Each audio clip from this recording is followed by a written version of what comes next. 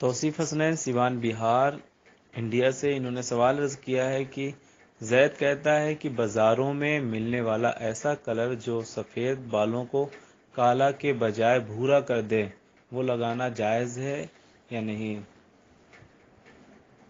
जवाब इनायत फरमाए। हदीस शरीफ में काला खिजाब यानी काला कलर, वो चाहे पुड़िया का कलर हो या मेहंदी का कलर हो, काला कलर या कोई तेल हो, जिससे बाल में लगाने से बाल काले हो जाएँ। काला खिजाब का मतलब है काला कलर, काला रंग। बाल में लगाना दाढ़ी और सर में नाजायज़ है और इस पर मुस्तकिल एक रिसाला आला हज़रत अली रहमा का है।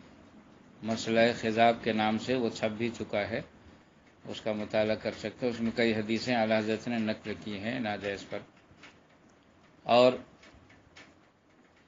पीला और लाल खिजाब को जायज़ कहा गया है। पीला खिजाब को कहा गया कि ये मोमिन का खिजाब है और लाल को कहा गया ये मुस्लिम का खिजाब है। तो इससे भी समझ में आया कि ये दोनों जायज़ हैं।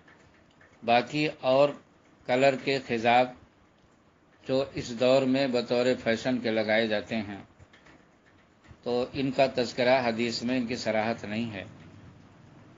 तो अब बेदलील किसी चीज़ को नाजायज़ हराम कह देना तो बहुत मुश्किल है। लिहाजा इसको जो बतौर फ़ैशन के आजकल नौजवान बच्चे आगे के हिस्से में ब्राउन कलर का खिजाब करते हैं, कलर करते हैं। तो इसको नाजायज़ तो नहीं कहा जा सकता है, क्योंकि इसके नाजायज़ होने पर कोई सराहत नहीं है।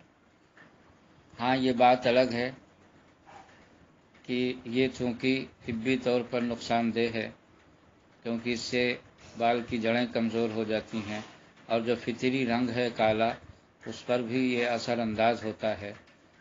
तो इसलिए ये कम से कम मकरू तंजीही है। ऐसे फ़ैशन से बचना बेहतर है।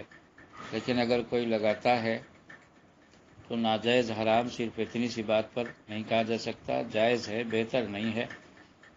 और कलर जो चलते हैं, बाज़ इलाकों में अलग अलग कलर तो उनकी भी सराहत नहीं मिलती है। और बाज़ किताबों में नज़र से गुज़रा के बाज़ ने मुसला का सहारा लेकर इसको नाजायज़ कहा कि ये मुसला है और मुसला नाजायज़ है।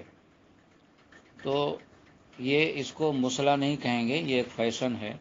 मुसला का मतलब यह है कि ऐसा बिगाड़ जो उर्फ़ में जिसको आयब समझा जाए, जैसे नाक काट देना, कान काट देना वगैरह, जिसको आयब समझा जाए।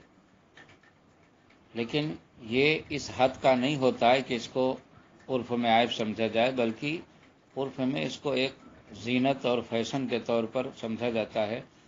लिहाजा मुसला की हद में ये दाखिल नहीं है, ये जायज़ है, बेहतर नहीं।